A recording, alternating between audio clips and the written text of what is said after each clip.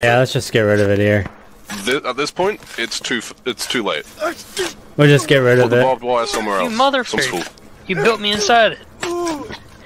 No, I'm trying to get I'm trying to get rid of it.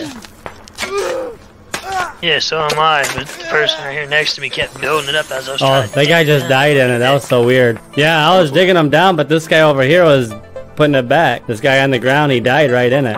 Yeah, no, no, I was digging it down, and the person in front of me kept digging it up, or building it. Well, whoever's alive, start digging it down and pick him up. How about that?